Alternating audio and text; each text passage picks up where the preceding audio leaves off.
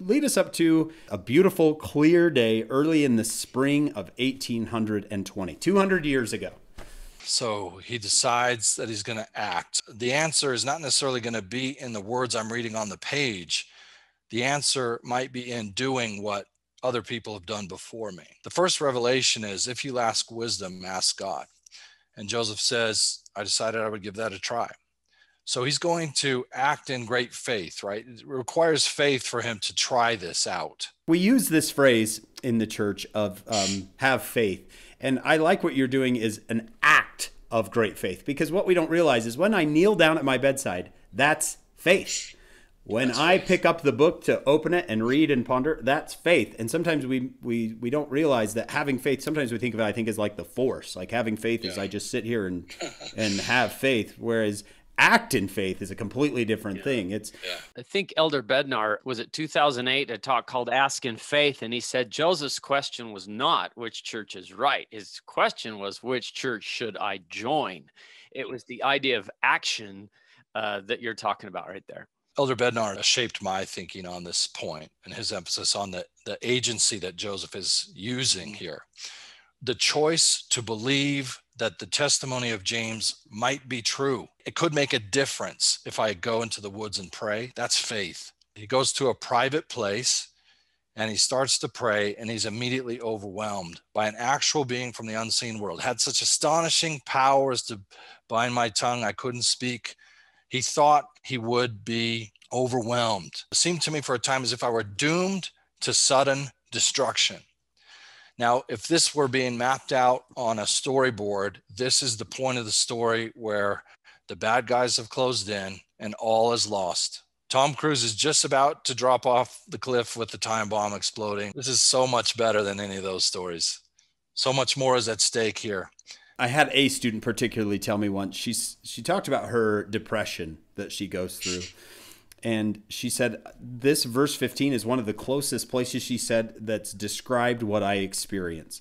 I'm wow. seized upon by this power this this depression. It overcomes me. Unseen but very real. I can't talk about it. I it has an astonishing influence. She said thick darkness is the way to describe it thick dark. Now, I'm not saying that all depression comes from the adversary. Please don't get me wrong. There's many uh, youth and adults out there who who struggle with depression and anxiety. They can identify with that last part of verse 15 of, yeah, I felt something similar in my life. It's unseen, right? But man, it is real. I've always emphasized those three words for a time. For a time, right? It will end and he lets us know it will end. He didn't know it at the time it was going to end, but I love those three words for a time. For this is just for a time. You're going through this. I love that. Hank, that's that's insightful to me. I appreciate that. It makes me want to draw attention to the fact that what we're reading here is Joseph's factual memory, but it's also laced with interpretive memory.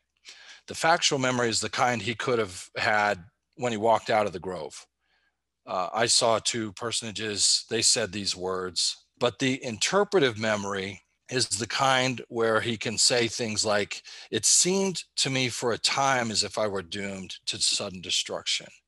And he's going to go on later and say, It seemed like I was Paul before Agrippa. It, it felt like this. I've often thought then and since. And one of the reasons that uh, the accounts of the vision vary is because they have different interpretive memory woven into them, just like you and I do.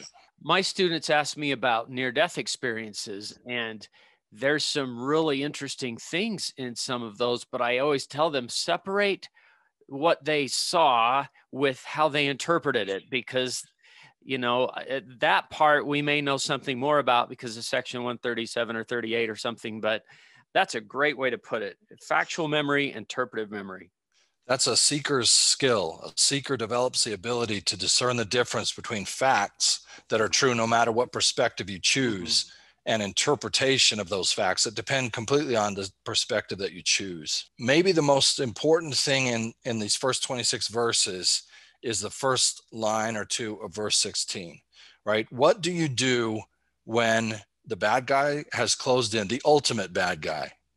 The stakes are enormously high. Your eternal welfare is at stake, and you, you're in the dark night of the soul. Thick darkness is gathered around. It seems like you're doomed to sudden destruction. Joseph chose to exert all my powers to call upon God to deliver me out of the power of this enemy which had seized upon me. And at the very moment when I was ready to sink into despair and abandon myself to destruction, not to something I was imagining, but to a very real power, just then God delivered me. Yeah. Verse 16, I'm going to label it the choice because he could quit, right, Steve? He could he could just lay down and be like, "I'm done. I'm done. Okay, okay. I I I don't want to know. I don't. I, I... Maybe on a smaller scale, but I think I do that all the time, and I often abandon myself. I, I often choose the easy way out. I often don't do the hard work of making the right choice. Here, Joseph makes the right choice. This choice is the opening of the restoration. He didn't know it then. He wouldn't know it for a long time after that. The church, in a, in a sense, wouldn't even know it until half a century after the fact when we finally canonized the first vision. But when we look back, searching our past for the moment, you know, what was the choice that was made that opened the restoration? It's this choice. That's why I said at the beginning, this is the most consequential choice uh, in history outside of the Savior's atonement, outside of his choice to offer himself for us. I made a note of that. You call it massively consequential. I thought, yeah, massive consequences for the planet. I mean, this is amazing. Yeah, the three of us sitting here, that comes from this choice, right? I mean, this this whole thing does right. not. Everybody listening to us. Yeah. And the fight against it. I mean, there's a huge, huge fight against the first vision right now, as you all know. And there are casualties being yeah. taken. There's a war being waged. Why? Because there's so much at stake. It's massively consequential. I just had an idea that I, I would challenge parents, and I think I want to do this with my older teenagers is tell them my story and tell them my the moments of my decision. Like you said, I didn't know it at the time, but as I look back in my life, there were moments of decision. They were massively consequential in my life, right? And to my future and to theirs as my yes. children. And I think this is this would be a great opportunity for for yeah. moms and dads to sit down and say, "Let me tell you about one of my verse 16s where I had a choice to make, a turning point, and how God helped me." The moment where I was all in, I mean, exerting all my powers to call upon God. This is when I thought I am all in. Yeah, because sometimes our kids look at us and go, "You were born with a shirt and tie, right? You you never went through this." I was in the you know, in the delivery room going, everyone gather around, we're going to read some scripture, right? That's how my kids sometimes see me because they weren't around when I was in my own little 14 year old time. Maybe obviously not as profound, but we've all had moments of, of decision that, that changed everything for us. If the problem just ramped up in verse uh, 15 and early in 16, this is the resolution. And you can feel it. If you put monitors on people who are paying careful attention as they read this, you could probably see their heart rate change and their blood pressure change. And this resolution just provides the answer to Joseph's problem. He is delivered from the enemy which held him bound, and he sees two personages whose brightness and glory defile description. So we shouldn't expect Joseph in any of his accounts of the vision to do to be able to do an adequate job. There's no way. After he first wrote the vision himself in 1832, the very next thing he wrote in the same book was a letter. And in that letter, he prayed. He just sort of spilled his prayer out on the page. He said, Lord, deliver me from the narrow prison of paper, pen, and ink, and a crooked, broken, scattered, and imperfect language. How do you write what defies all description? It can't be done. How do you describe the indescribable? Yeah.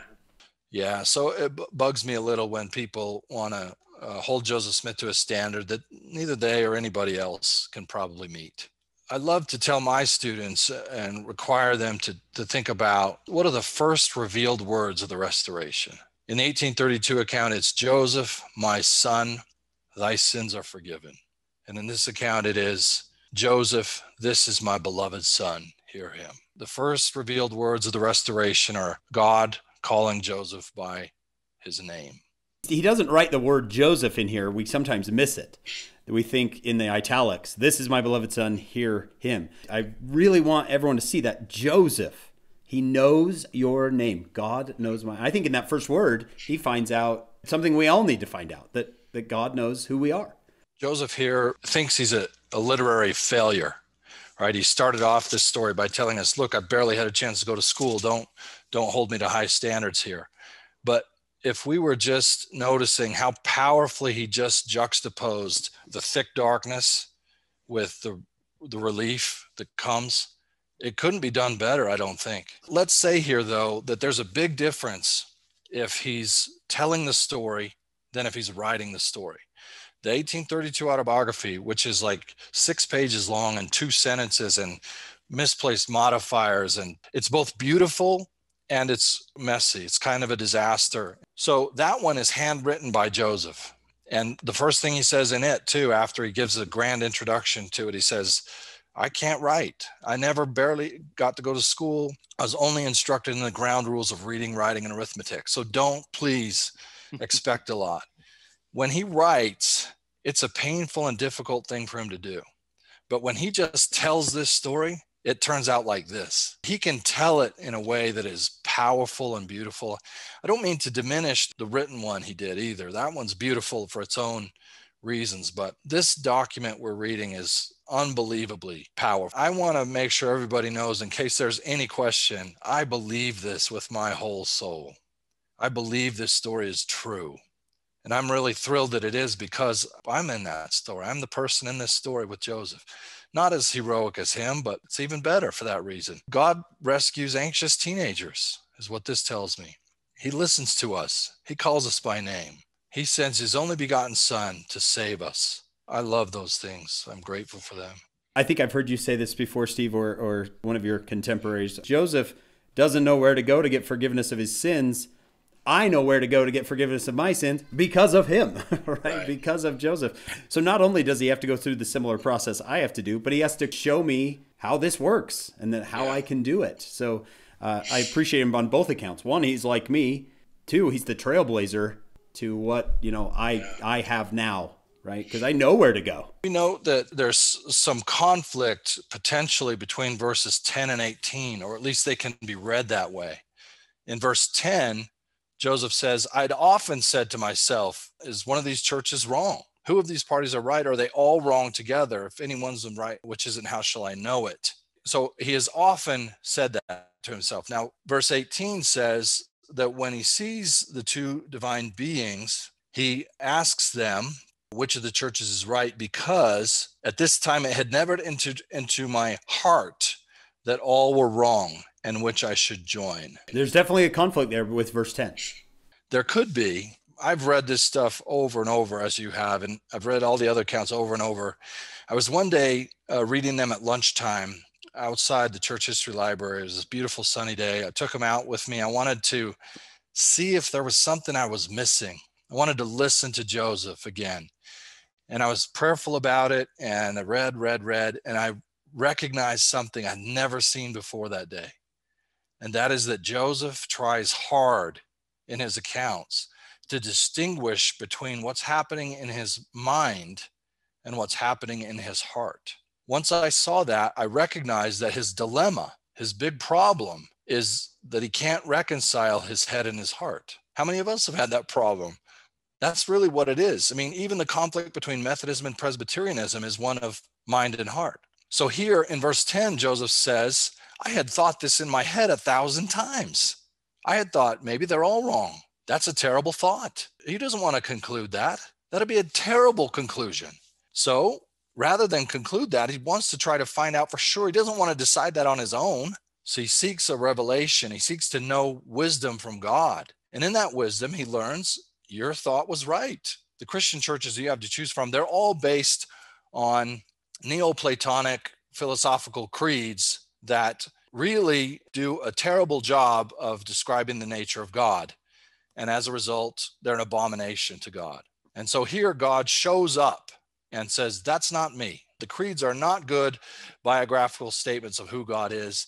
I am different. And here I am. And I'm going to restore the real way of thinking about God through Joseph Smith. I'm paraphrasing the whole restoration here in a nutshell. Joseph here says in verse 18 now, it had never entered into my heart. I wasn't convicted in my heart about that. I thought about it, but it's easy to, especially if we're already looking for a way to convict Joseph on cross examination, right? It's easy to get him right there. Aha, Joseph, I caught you in a lie. But if if our goal is to listen to him explain himself, and if we'll do it over and over, then what you notice is that he's completely consistent on that point. He completely consistently through all the accounts paints a, a, dilemma between his head and his heart that he can't himself reconcile without more revelation, without wisdom. And here he gets it. One thing I've loved is in verse 8 where he says, It was impossible for a person as young as I was, so unacquainted with many things, to come to a certain conclusion who was right and who was wrong. And here, just 10 verses later, he's like, It's not impossible for a person as young as I was. when you add the Lord in the mix, right. um, I came to a very certain conclusion who was right and who was wrong. So, hey, Steve, I want to hear some more about because I think this is so important. I've had my students ask me, sounds like Heavenly Father sounds mad. Or it sounds like the Savior sounds mad. Notice what's the abomination. It wasn't the people, there were good hearted people, it was the creeds so give me another sentence or two about what were those creeds and and why would those be singled out here in the first vision? Those creeds are an abomination. I really appreciate the question john because none, none of us on this conversation have any desire to impugn uh, christians of any denomination. I remember actually hearing this as a missionary uh, that why would i listen to you? You think according to your prophet i am an abomination yeah. Right. God hates me because of what I believe. And right. I, I had never even read it that way, but yet that that's how some have used it as a, almost a weapon against Joseph. The creeds are wrong about who God is. The creeds of Christianity are based on a Greek philosophical idea that ultimately there is only one thing, and that's God. And everything else has come from God. That means that all of creation is out of nothing, that you and I can't become like God. There's not a heavenly mother. Exaltation, right? In other words, all of the most beautiful things of the restoration are impossible if your starting point is the creeds of Christianity. God of the creeds is not passible. He's not capable of anything that is human, including relationships or emotions right? He is without body parts and passions. Well, the God of the first vision is not like that. He knows Joseph's name. He has a beloved son. They can stand next to each other in the air. They can call Joseph by name. And Joseph says in his other accounts, They filled me with joy unspeakable. And for many days I was filled with love. When we, as Latter day Saints, are accused of not being Christian, that is true if your definition of Christian is someone who believes in the God of the Christian creeds. I emphatically don't. This this past Sunday, I spent two hours in a in an evangelical church in Gainesville, Florida, and then went to sacrament meeting. I loved it. Loved every minute of it. I was edified. There was beautiful truth taught. I've fellowshipped with other Christians. So I don't wish to be misunderstood as somebody who attacks Christianity or other Christians. I just want to say that there is great good news that the restoration of the gospel fixes what went wrong when our apostles were all gone and all we had left was some philosophers and all they had to work with was some Greek philosophical ideas. And what that led to was this idea that God is, is just one. Therefore, creation uh, couldn't have been uh, by God out of pre-existing materials, including intelligence and element. And therefore, there's not such a thing as agency, the way that the restored gospel has it. There's no possibility for exaltation and being with families forever and becoming like God. So, all the things I love most about the restoration are at stake in whether the creeds are right or wrong. In Jacob 5, the Lord says, "All I see a bunch of fruit on the trees and none, none of, it of, it is good. Yeah. It doesn't produce what I want. I want exalted children and the creeds cannot produce exalted children." Just in my Christ Everlasting Gospel class at BYU, I take my students through the creation of the Nicene Creed, probably the most important of all the creeds, the most pivotal of all the creeds and where it kind of goes off the rails. And what it was, it was really an argument between two church fathers. Arius and Alexander had differing views about Christ and his divinity. Uh, and it was a fight between the two. And so, what in that Nicene Creed, the first, that initial Nicene Creed, where it goes off the rails is what is called anti Arianism, where Alexander just wanted to beat Arius. It wasn't about scripture. It wasn't about getting the correct view. It was about making sure that Arius is out. Again, we're not anti-Christian by any means, but there is there is some difficulty in the that creedal history.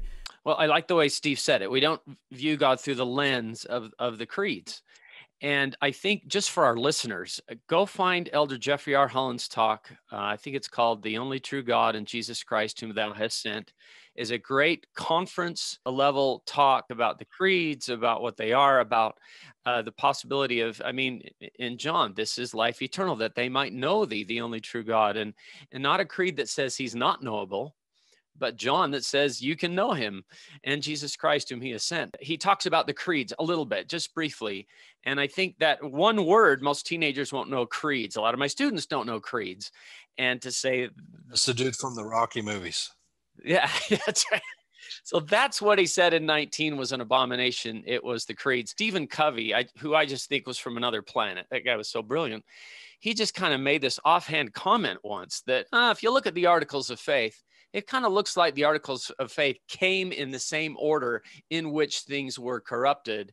And the nature of God is the first article of faith. And I thought, wow, that's true.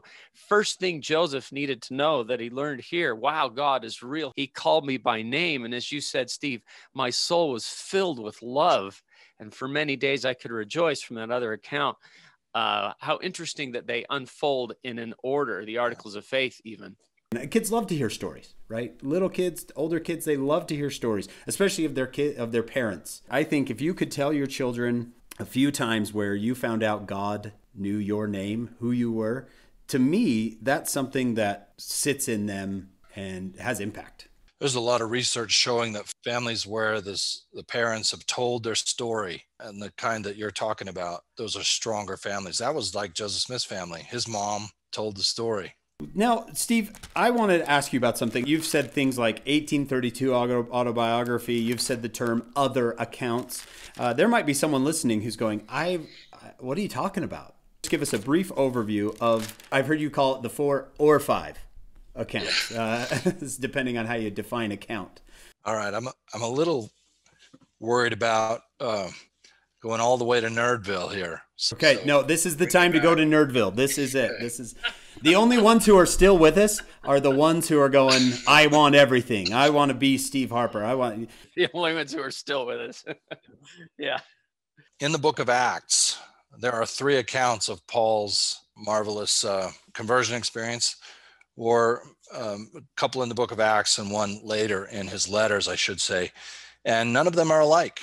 None of them match exactly. And some of them have conflicting details. Of course, everybody knows there are four gospels, but by four different authors. But here we have presumably Paul as our source of these three, of the original knowledge. If we can realize that that's not um, a reason to throw Paul's conversion out, but rather we study those accounts and learn everything we can from them the same thing is true in the Book of Mormon, right? There's multiple accounts of Alma's conversion. They all come from him. He tells them, sometimes he tells it short, sometimes he tells it long. He tells it for different reasons and he tells it in different present contexts. Well, that's true for Joseph Smith too. Joseph told his first vision repeatedly. It got recorded for us at least four times uh, in primary accounts. Primary meaning it was recorded by Joseph or somebody who was working under his direction to record it as he told the story. The earliest of those is 12 years after the vision in 1832. And the latest one is in 1842. It's what we sometimes call the Wentworth Letter. Between that, there was uh, the one that we know best, the 1838 account. Joseph started it in 1838, then spent the winter in jail at Liberty, Missouri, then finished it in 1839. And it was uh, published in the church's newspaper in 1842 and now is in our Pearl of Great Price. That's the one we've been reading today. Yeah, today. That's that's the one we're looking at. It got put into the Pearl of Great Price in 1851, and the Pearl of Great Price got made into scripture by the saints in General Conference in 1880. And so it's by far the best known account. It's the most complete one. It's the one Joseph felt most comfortable sending out to the world. The earliest one that we've been referring to, the 1832 autobiography, he, he suppressed that. He didn't share it with people. I think he didn't like it. As I told you, it's kind of a rough literary product. I, I find it beautiful for all of its um, candor and raw access to Joseph's teenage self. But I think he looked at it and thought, last thing I want is my raw teenage self and my terrible grammar, you know, out there in front of the whole world to look at.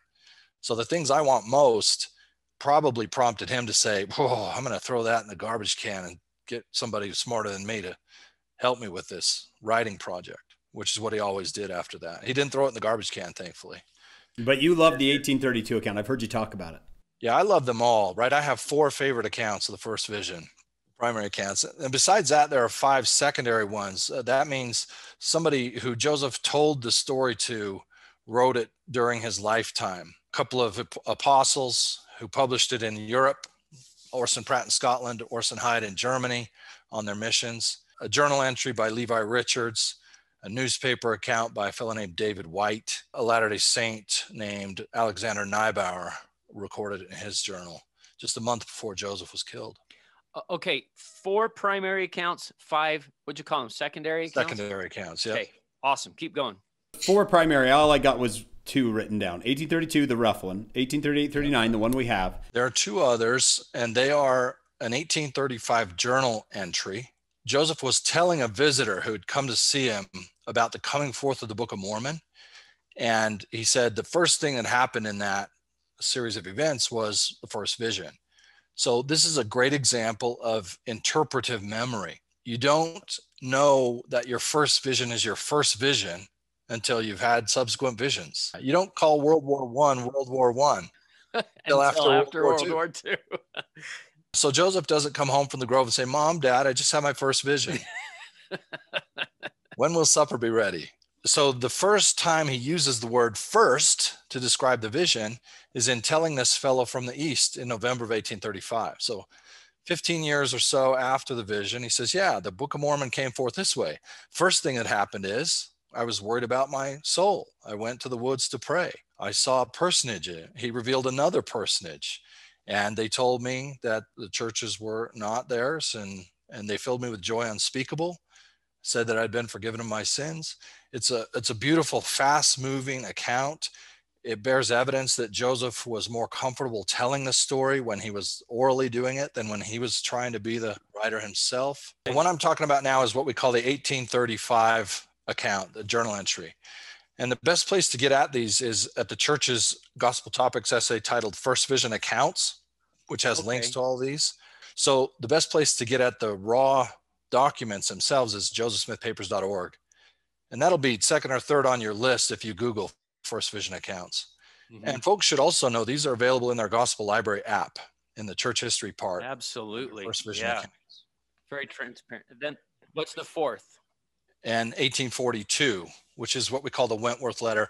This is a letter to a newspaper editor from Chicago who wrote Joseph saying, Hey, a buddy of mine is writing a history of New Hampshire and we want to tell your story. It was New Hampshire where Joseph was a kid, had his leg surgery. Joseph was uh, becoming interesting and curious, a curiosity. So a good way to sell books would be to include stuff like that and wanted to tell his story. That was a breath of fresh air to Joseph. One major reason there are differences in the accounts is that Joseph's present circumstances when he told the story had a big influence on how the story got told. So you'll notice in the one we read in the Pearl of Great Price that it is defensive. And this comes after the worst year of Joseph's life. Liberty Jail, extermination order, exile from Missouri, all that. Then you write your history. The way you're going to write it is owing to the many reports put in circulation by evil disposed and designing people. I'm going to tell you the truth. I'm going to tell you the truth of hot persecution and bitter persecution. And I've been persecuted since I was an infant. And it all started a few days after the first vision when that minister told me was all of the devil. That makes perfect sense. He says, I knew it. I knew that God knew it and I could not deny it, I'm not going to. Or uh, he says, they did in reality speak to me, because right. you could tell people are saying, you made it up. It's yeah, it's in reality. There's a there's it's defensive. Like some people can read it and say, "Boy, Joseph was pretty uptight that day." Well, yeah, he was. He'd just been through the crappiest year of his life, and people were hating him and driving him and his family and his people robbing them of their property, tarring them and feathering them, incarcerating them in jail, etc., because of his testimony of the restored gospel. And so he could either, you know, cave in and say, oh, it's all a fake, or he could be defensive and resolute. In the face of that persecution, that worst year of his life, he decided to be resolute. And that's why that one has the tone that it has it may even contribute to all their creeds are an abomination. Their professors are all corrupt. In the 1842 account, where he's writing to a newspaper editor who's actually asking for Joseph to tell his own story, Joseph paraphrases the father and the son, saying, They told me that all the churches were believing in incorrect doctrines and that none of them was his church. A little softer. Same story, but definitely a different tone to it. Softer, maybe even unconsciously so, I don't know how much Joseph thought I should be really defensive and sound like I'm spitting venom, or if that's just the way it happened because of the year of his life. Uh, this last year, 2020, I've been a little more defensive about about just in my explanations of things, just because it's been a hard year. I mean, wouldn't it be great as a missionary?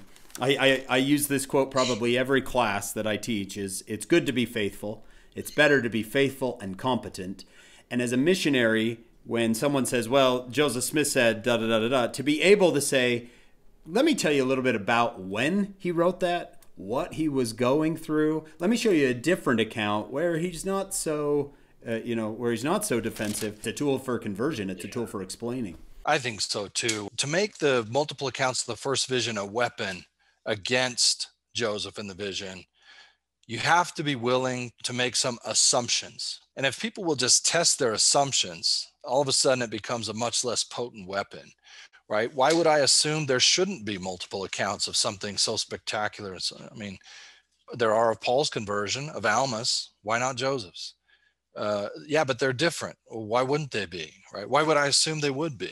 Joseph didn't write him down for a long time. Why would I assume that he would? This is a guy who tells me the first time he puts his pen to paper in both of his, his autobiographies, he tells me, I don't write. I'm not well educated. It's a miracle I'm writing this at all. Not that, not that it took me so long. So when we test our assumptions, we find that really they're nothing more than what we imagine history should be like instead of listening to somebody who was actually there, the only eyewitness in the grove, tell us what it really was like.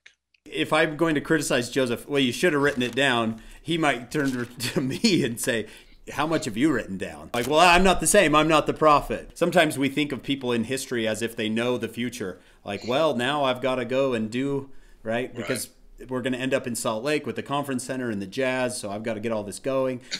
when President Uchtdorf said, doubt your doubts before you doubt your faith, yeah. in my mind, he might, I could, I could take that as analyze your assumptions. Yeah. Interrogate your assumptions.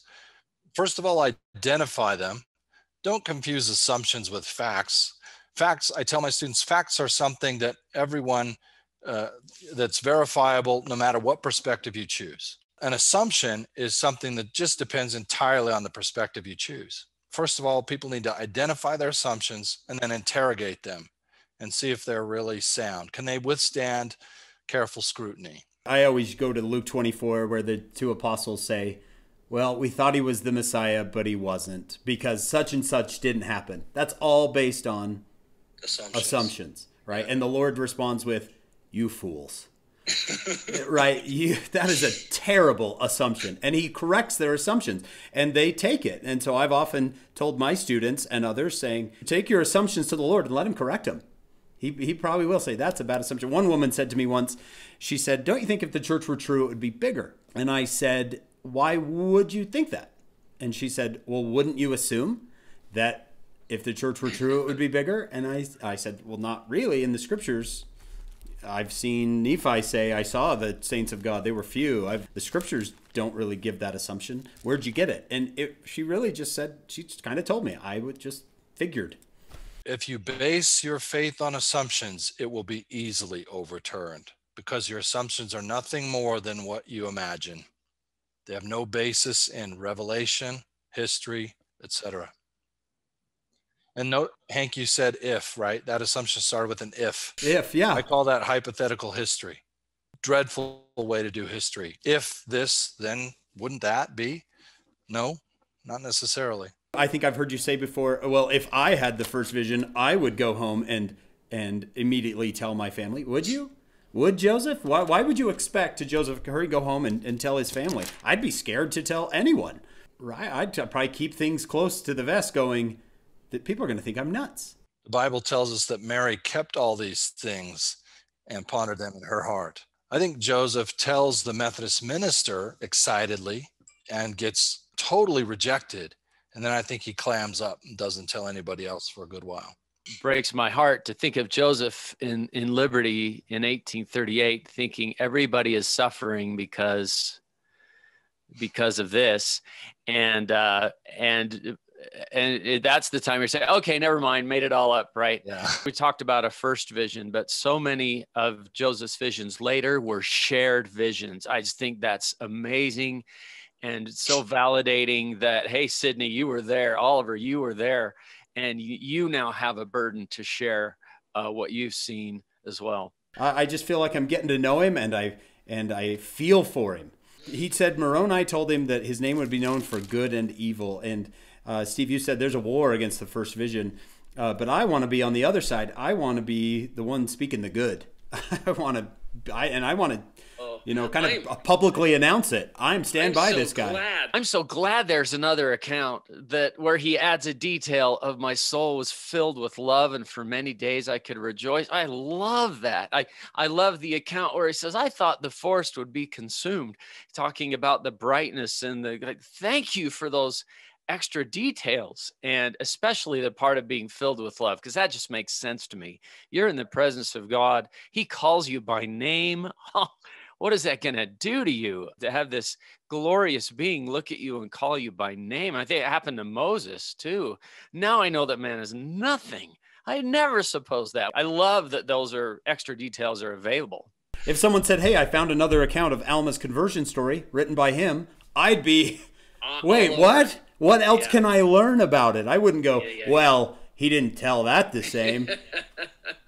you know, I'd be so excited about it. Steve, to finish, I think it really helps Latter day Saints, at least it helps me, to hear people who are as educated as you, and there's and I think education has its place, educated, who they you know everything that the people who hate Joseph Smith know. You know everything, and I want to know how you feel about Joseph and uh, what how you feel about the restoration. Well, you know, I think the word I that that I associate with uh, this question is marvel. I marvel at Joseph. I, I marvel at what the Lord did through Joseph. Some people think I this sort of love for Joseph Smith. I honestly could not care less about Joseph Smith if all he was was a, an upstate farmer in New York. There were a hundred others there by the same name at the same time.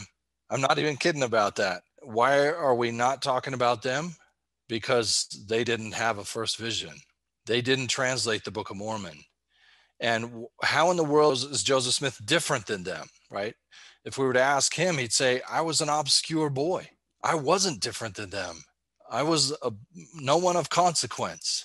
But in hindsight, he knew, and we know that he was, right? He asked of God in great faith, and God opened the heavens on him, not just for him, but for all of us, right? There were a lot of other people in his time and place and before and since who have had just as sincere a heart, just as deep a faith, have been just as desirous to know God's will for them and whether God loved them or not. And Joseph's answer is their answer too. It's my answer too, right? I love him because the Lord loved him and opened the heavens upon him, and he loved the Lord. I love Joseph Smith because he didn't back out, right? In those most difficult times of his life, right? And as you both know, he said later in his life, if I, if I didn't know better, I would back out. This is hard, but I can't back out, he said. I have no doubt of the truth. Well, there have been other people who've had no doubt of the truth and backed out. And that tells you something about this kid that God picked, handpicked. He does not back out when the going gets unbelievably tough. So, the best thing to me about Joseph Smith is he is undaunted. You cannot keep him down. You will have to kill him, but you won't be able to do that until his work is done. In 1838, he learned by revelation that the Lord would make sure he lived at least five more years. I joked earlier about it, you know, Tom Cruise movie where you you set the time bomb ticking and all that at the end. Man, Joseph Smith's life's more interesting and exciting than that, and so much more consequential. He had a ticking clock by January 1838, and he knew that he had to get the priesthood keys implemented, Israel beginning to be gathered, uh, the saints endowed and sealed, and all of those ordinances into the hands of the apostles and their wives before he could be killed. And he did that. He barely did it. And once he got that work done, he said, They can kill me now. In fact, it'll be a relief. I feel as light as a cork, he said the day he finished that work. Uh, and he was back to that native cheery temperament. But the most intense times of Joseph's life, that native cheery temperament was sort of suppressed by his anxieties, his worries, his workload, the pressures that were on him. I love that he was willing to shoulder that load, the load of the restoration. I don't uh, care a lick for Joseph Smith, the farmer. I love Joseph Smith, the prophet. Anybody listening to this can tell, I don't think of him as perfect. If he were perfect, I'd be so much less interested in him. I couldn't relate to him. The magic of him for me is that he's like me in a sense. He has the same teenage concerns, and he shows me the way to find resolution to them. Joseph Smith reveals Christ. He revealed Christ in the Book of Mormon more powerfully and potently than anybody had ever done before. He revealed Christ more powerfully and potently through his revelations in the Doctrine and Covenants than anybody had ever done before. He revealed the plan of salvation more clearly and completely than anyone had ever done before. And he didn't have as much education as I did when I graduated from the sixth grade. He translated the Book of Mormon in a single spring between the seventh day of April and the last day of June, 1829. Everybody who watched him do it marveled and knew that he did it by the gift and power of God. People since have, have decided that he didn't, right? That he did it this way or that way, or somebody else did it, not him.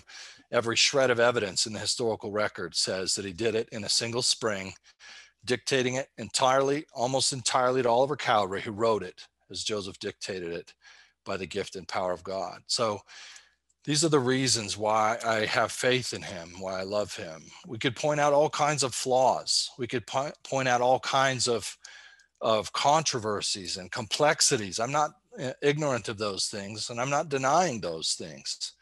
But what I want people to make sure they understand is what he did. And that can be boiled down best by saying the first revealed words of the restoration are Joseph my son, thy sins are forgiven thee. I hear that as Stephen, my son, your sins can be forgiven you on the exact same terms and conditions, and so can everyone else's. Who else solves the soteriological problem of Christianity, where there are three truths that are irreconcilable? God loves his children. Salvation is available through willing acceptance of the atonement of Christ and many, many, many people live and die and never hear Christ or accept. That's only a problem because of the apostasy. Because in about the fourth century of the Christian era, philosophers made death the deadline that determined salvation. Joseph Smith obliterated that with, well, the Lord did through him, right? And there are others, right? The problem of suffering. Uh, who else gives us a better resolution to the problem of suffering than the Lord does through Joseph Smith? So, anyway, you can tell that I'm excited about this.